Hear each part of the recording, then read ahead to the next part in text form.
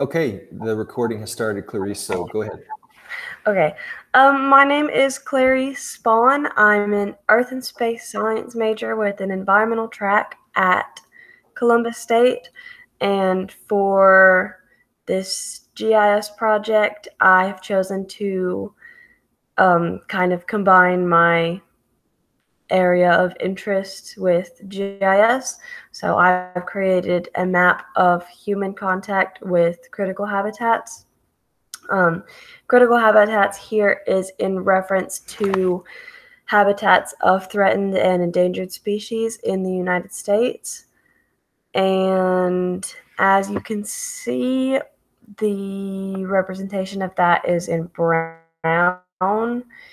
Um, I have little black plus signs in areas of high human traffic. So um, those are visitor centers and campgrounds. And I'm about to read off my phone, so sorry for the pause. You're good. Go ahead. I basically wanted to view human activity in concordance with endangered species habitats to see the potential damage humans could do.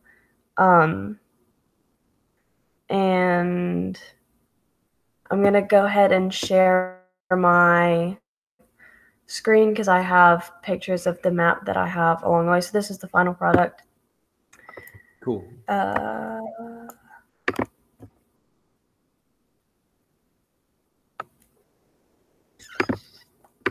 okay. Can you see this right here? Yes, I can see your document there now. Okay. So this is my first map. Um, basically, I imported data from the Fish and Wildlife Services of the United States, and this is vector data in point, line, and polygon.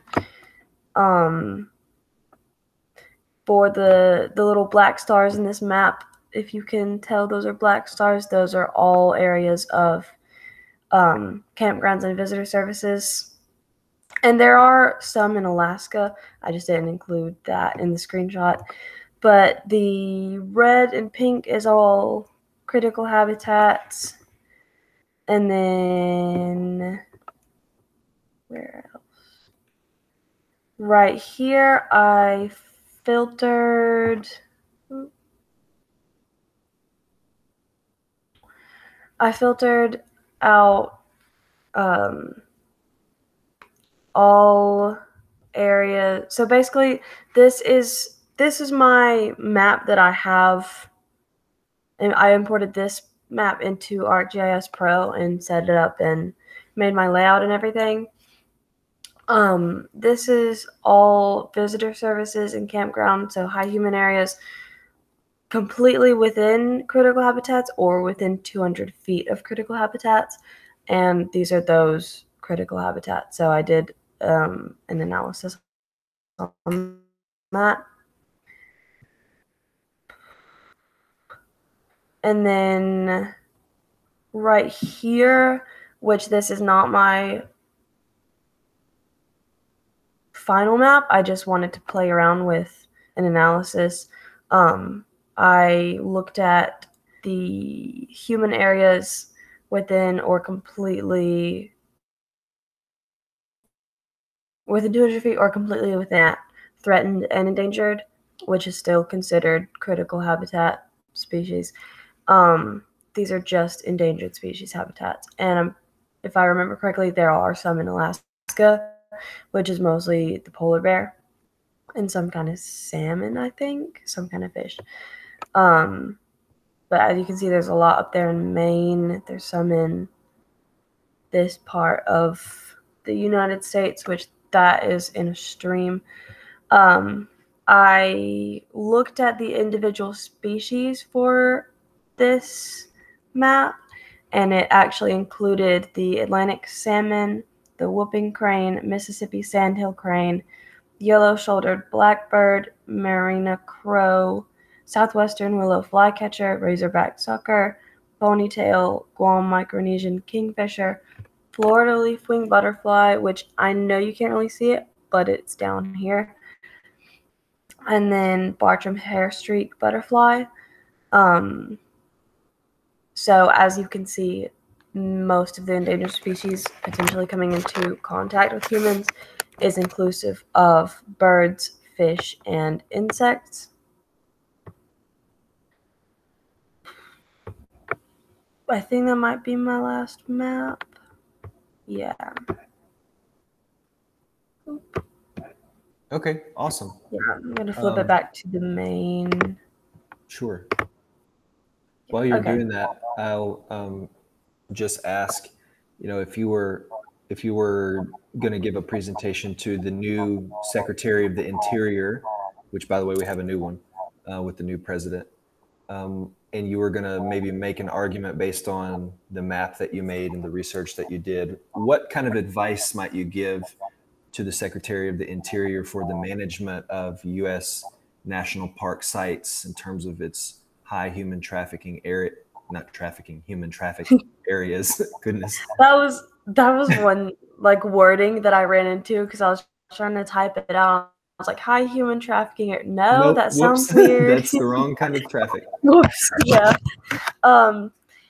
But yeah, what, what advice might you give about planning these sites?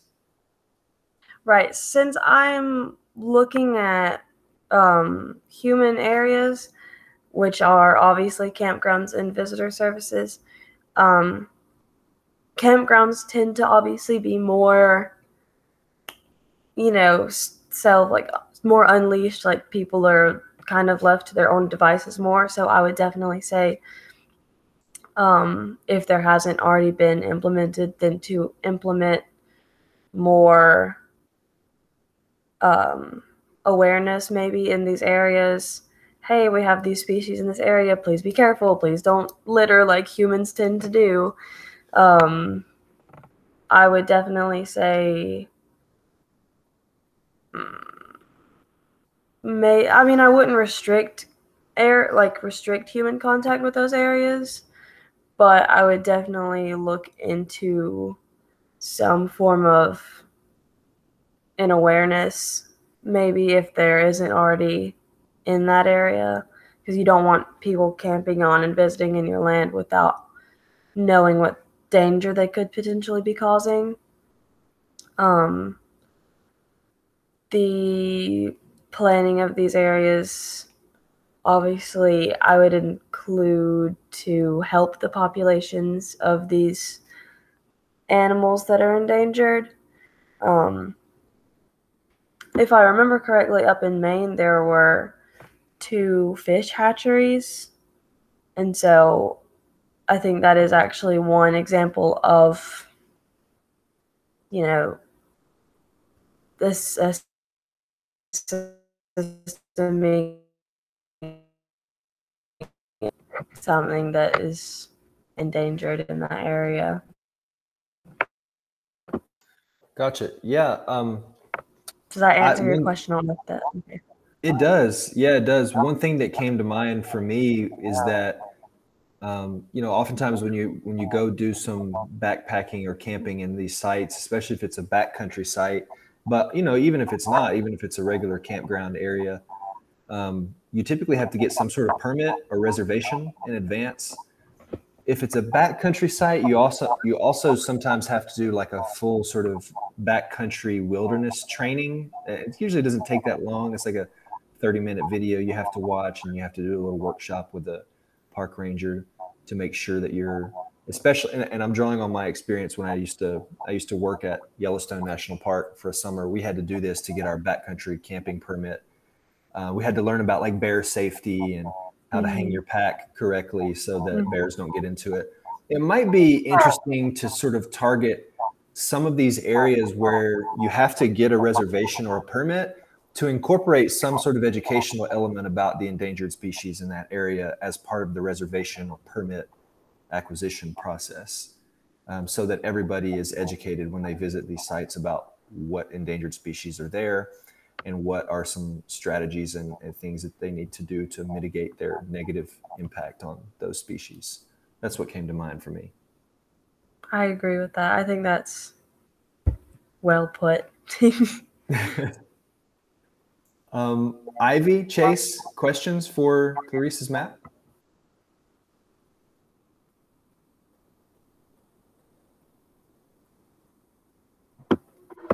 So, not so much of a question, so much as I think it's really interesting that, like, it looks like there's a lot of um, like a like a larger concentration of critical habitats with campgrounds and stuff in the Pacific Northwest versus everywhere else. So, um, except Maine, it looks like. So, I, I guess my question is like, um, sorry, my fan is going, but um, my question is um, in places like Florida, where you know that there's a lot of um, reserved wildlife, um, are is there are there not a lot of campgrounds in those areas, or like are they just not accessible to people, or do they just not care? Um, like like in places where you know there's reserved wildlife, um, like why is there like why are why are those places lacking um, lacking those kinds of campgrounds and visitor services where you know that like it can kind of be um, an experience where these people can can see that wildlife and um, uh, like kind of understand um, more about what's going on. Sorry if my question's unclear. I see what you're saying. So you're saying it's kind of proportional that like Florida has it seems as though it has like more of an equal amount of um, species to visitor sites so that people can potentially go there and learn about the species whereas in the Yeah. Pacific Northwest okay Yeah. um I know that in if you're talking specifically about like in the con- continuous United States not really in Alaska Yeah, yeah, Um, that, yeah. That's sorry. I should have mentioned that. Yeah. No, no, you're fine. Um, I know that those specifically. I don't know if you. I know you can kind of see it right here. I'm gonna try to zoom in. No, I don't think it's gonna work. But if you look, these all right here are streams. So, um, those are streams too, I think, in bodies of water.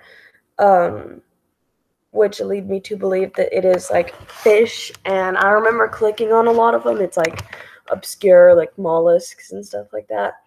Um, so I think that there probably is not as many areas for observation because you know if you go and you walk in Florida and there's an endangered like mammal, you know, you try to spot the mammal or you look at the butterfly if there's an endangered butterfly. But it's kind of harder to do that with fish. You can't Right. just go Okay. That makes sense. river. Yeah. I think that is the case for that. Chase, what about you? Got a question for Clareese before we wrap up? Yes, um, you probably already answered this. I apologize, but uh, the data. Do you um, uh, the, the the definition of critical hab- habitats? Um, who who defines that, and is it local government or is it uh, researchers? You know, do you know who funds these people? Um, could uh, my my question is could the reason why like you know in California, Oregon, Pacific Northwest there's criti- more critical habits is because you know we've determined that those are critical habitats because you know we've done more research into it. While down in the south where people might not care about critical habitats there's critical habitats it's just they're either gone or or people don't care enough to to really look at the critical habitats Um, right. So I can't speak on the research in relation to the areas of people, but I gathered my data from the United States Fish and Wildlife Service. So um, my assumption is that they evaluate the United States as a whole and then upload their data onto their website. Um, critical habitats is if I remember correctly, it's something that I kind of took from their um, website. They had uh, habitats of endangered species, habitats of threatened species. But I actually define this. Um, the term critical habitats is used here in reference to habitats of species which are classified as endangered or threatened by the U.S. Fish and Wildlife Services. So, That makes Yeah. sense. Thank you. uh Good question, Chase, and nicely done, Clareese. I think, you know, since it's a federally uh, sourced data set, I would venture to say that there's a, probably a pretty high level of trust that, uh, you know, f- the folks who did this research and determined these areas were taking as systematic an approach to the whole country as as they could. Um, but again, Chase, a, a really nice question, and I think important to bring out some of those regional variations in the values of how we think about you know conservation how we think about in your case chase confederate monuments. Sometimes those regional variations can come across really strongly in some of these maps. Um, but yeah really nice work Clareese all around. Great job on your project. Thank Um, you. if nobody has anything else they would like to add i'm going to uh, stop the video here